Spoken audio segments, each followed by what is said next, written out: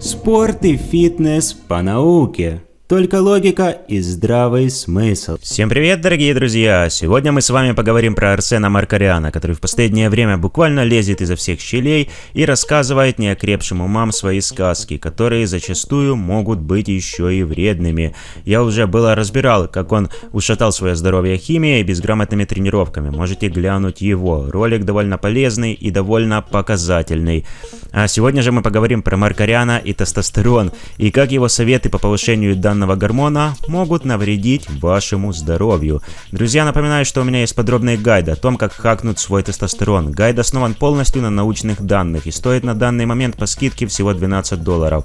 А если брать его вместе с гайдом по лучшим добавкам для анаболизма, то все это обойдется вам в 20 долларов. Подчеркну, что это совершенно разные материалы, и анаболизм это не только тестостерон, но еще и много других вещей. В общем, если предложение вас заинтересовало, обращайтесь. Мы приступим к разбору нашего нашего сегодняшнего героя. Итак, Маркарян собрал вокруг себя целую тестостероновую секту. Позже обязательно будет отдельное видео на эту тему. И эта секта вовсю верит в то, что их гуру начнет поднимать тестостерон и превратит вчерашних мамкиных инцелов в настоящих альфа-доминаторов. И порой, когда слушая самого Маркаряна, задает себе вопрос, а где он вообще берет эту информацию? Он что, ее с головы на ходу выдумывает? Не, я конкретно... Там знаешь, как идет? Смотри, вот я скажу, исходя из опыта, оно идет вот так вот. Три дня, с третьего дня по 14 вот так, с 14 слегка начинает ползти, и к 25 дню выходит на пик в два раза больше, чем на третий день. Это вот Вау. так. То есть, смотри, вот третий день, с третьего идет обвал жесткий, к седьмому-девятому дню этот пик максимальный. Вот 14 прям... К 14 дню чувствуешь себя кастратом просто. Ты думаешь, блядь, я вообще мужчина или нет? Такое ощущение, что ты можешь сесть в позу лотоса и вот так вот просидеть до конца жизни. И вот с 14 дня оно перестает падать и начинает через плата слегка расти. Во-первых, откуда информация, что именно на третий день тест падает при воздержании, а на 25 повышается в два раза в сравнении с третьим днем? Откуда он вообще берет эту информацию? Такое чувство, что он просто взял ее и выдумал. А дальше вообще полнее полнейший бред. 25-й день, куда-то вот к 40-му, к 50-му, вот знаешь, что в тебе просыпается? Вот я не юзал, но я предполагаю, вот прям хорошая доза трена в тебе. То есть, вот как, видел, как Леснер орет в клетку после боя? Вот, вот ты так себя чувствуешь. И вот в этом состоянии я себя люблю больше, чем в состоянии таком вот более плавным. Более глупых умозаключений быть не может, потому что никакое воздержание даже и близко не сравнится с фармакологическими препаратами, тем более с таким как тренбалон ацетат. И да, он говорит, что сам не юзал, но предполагает, как оно будет, и тут же говорит, что в этом состоянии любит себя больше. Арсен, определись уже, пробовал ты или нет 50 дней воздерживаться. И вообще, вся эта тема с воздержанием уже порядка поднадоела. Люди до сих пор ищут волшебную таблетку, которая которая решит все их проблемы. Естественно, просмотр порнографии и бесконтрольное теребонькание своего болта – это тоже вредно для тестостерона и для системы мотивации тоже. Есть полно исследований на этот счет, их более чем достаточно, именно о том, насколько вредно порно. Ключевой аспект во всем этом – это банально не злоупотреблять, и тогда не нужно будет вам никакое воздержание. Все органы, которые даны нам природой, должны использоваться для того, чтобы общее состояние здоровья организма было в норме. И в отличие от воздержания Содержание по поводу секса полно исследований и его пользы, особенно для ментального здоровья. Конечно, если вы целый день будете только им заниматься, то хорошего результата в плане здоровья вам не видать. Подчеркну еще раз, тут главное не злоупотреблять, и все должно быть в меру. Воздержание, конечно, может быть полезным для определенных людей, у которых теребонькание это уже наркотическая зависимость, и они уже не видят свою жизнь без порнухи. Обычно порнозависимость идет вместе со всем этим бонусом. Э, этим людям, да, воздержание поможет, но и для буста тестостерона небольшой бонус какой-то может дать, но вы его в принципе вряд ли когда заметите, вы не почувствуете там ни в плане силовых какого-то роста, ни в плане там ментального состояния, ни в плане там тем более буста этого гормона до каких-то супер больших значений, и ваша жизнь от этого вряд ли как-то сильно изменится. Хотя подчеркну еще раз, для отдельных людей тема может быть полезной, но только на короткий срок, потому что, как я сказал выше, все органы нужны нам для того, чтобы их использовать использовать. А люди ищут волшебную таблетку, и Маркарян и адепты это все преподносят именно так. Даже более того, воздержание в отдельных случаях может нанести вред здоровью. Самый частый побочный эффект от воздержания – это простатит. Ну и на некоторых людей оно наоборот действует э, противоположно. Так люди становятся менее мотивированными и разбитыми, чем они были до всего этого. Но опять-таки не на всех оно так действует. Просто природа так придумала, что у взрослого мужчины должен быть секс, а люди выдумывают черт пойми что. И вместо того, чтобы решить те проблемы, из-за которых у них не получается с противоположным полом, люди находят волшебные волшебную таблетку в виде воздержания и потом воняют на весь интернет, что все плохие, а они воздержанцы, видите ли, хорошие. То есть не решают сам корень проблемы. Да и вообще, такие проблемы нужно решать со специалистом, а не за счет воздержания. Только потеряете драгоценное время, да еще и здоровью можете навредить. Сам пару лет назад пробовал эту тему на протяжении месяца, чисто ради эксперимента. Результат нулевой. Ни тест не поднялся, ни силовые показатели, и самочувствие никак не улучшилось. Да и вообще, реальный прирост к тестостерону дают только антиэстрогены, ингибиторы ароматазы и ХГЧ. Но еще можно поднять тест, снизив пролактин, если тот повышен сильно. Отдельные добавки еще могут там 10% дать к результату, может быть 15%, если у вас есть дефицит определенных элементов в организме.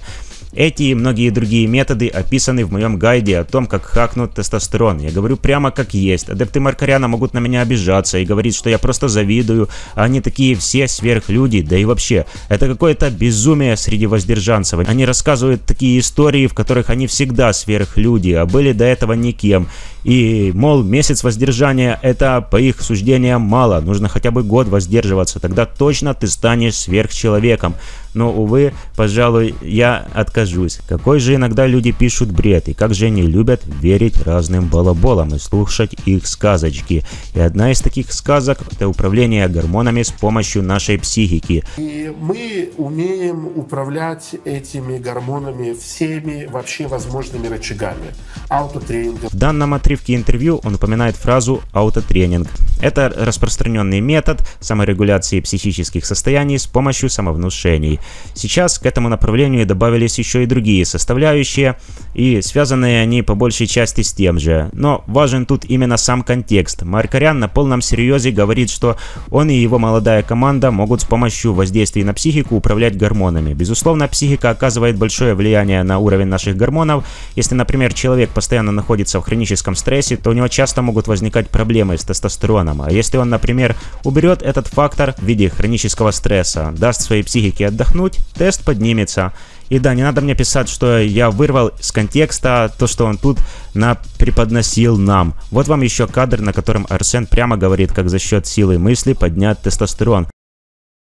Ты должен стать тварью, ты должен психически стать совершенно другим существом. Когда мы начинаем увеличивать амплитуду мощнейшего эмоционального включения и расслабления, мы увеличиваем и частоту, и интенсивность выработки гормонов.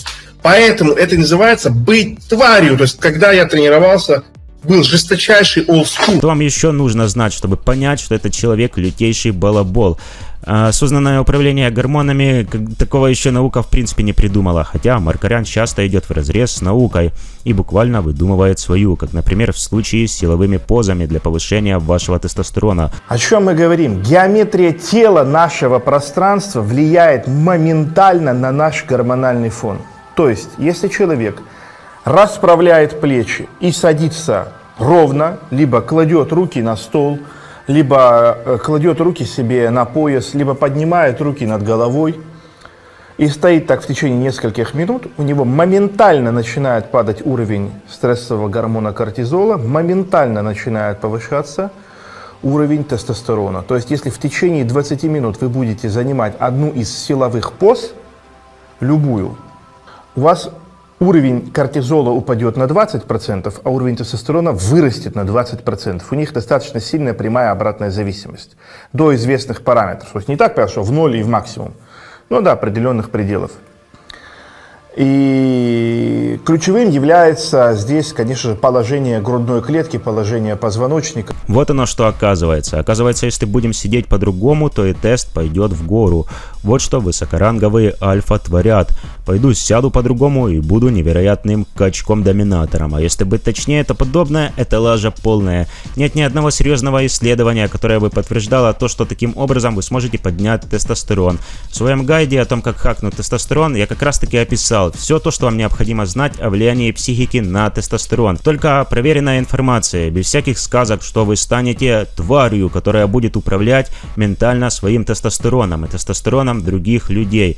Я, в принципе, такого фуфла никогда не говорю и не пишу. Я разбираю конкретные факты, которые подтверждены исследованиями и проверяю это все на себе. И если метод действительно рабочий, я его рекомендую другим. Если же вы посмотрите на самого Маркаряна, то он сам при всем том звездеже про тестостерон тестостероновых альфа и пролактиновых эстрадиоловых низкоранговых бета-самцов как раз таки внешне имеет признаки пролактинчика-эстрадиольщика, который ничего не может сделать со своим лишним весом, списывая все на застой лимфы. Но учитывая, как он любит ездить по ушам, то скорее всего это просто большой любитель хавать чебуреки, или же действительно у него лимфа широкая. Я это к тому веду, что Маркарян рассказывает вам что угодно, и про управление гормонами силой мысли, и про воздержание, и про позы для поднятия тестостерона, что угодно, кроме самого базового, что в натураху самое главное это образ жизни, который у героя нашего видео вряд ли спортивный, учитывая какой он понторез и как любит хвалиться своими достижениями в ММА,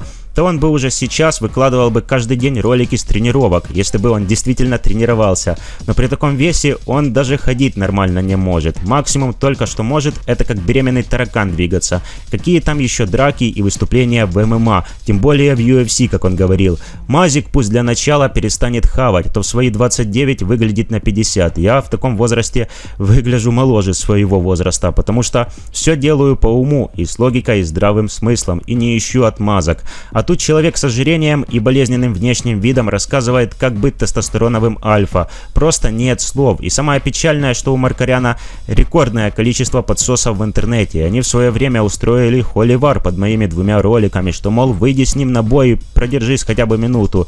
Да ради бога, вообще без проблем. Только сам Маркарян струсит, потому что банально стыдно показывать свое сало на камеру. Он же тут им пытается показать, что он альфа-самец крутой. Ну, какой же это будет альфа-самец? третьей степенью ожирения, которую будет отчетливо видно на видео. Проще, укутавшись и спрятав свои отложения, вещать школьникам про то, какой ты альфа-самец и как ты других сделаешь именно такими. А на этом пока все. Как всегда, став банку сгущенки этому видео. Не забывай писать в комментариях. Живу фитнес, да? Мой любимый блогер. Всем пока.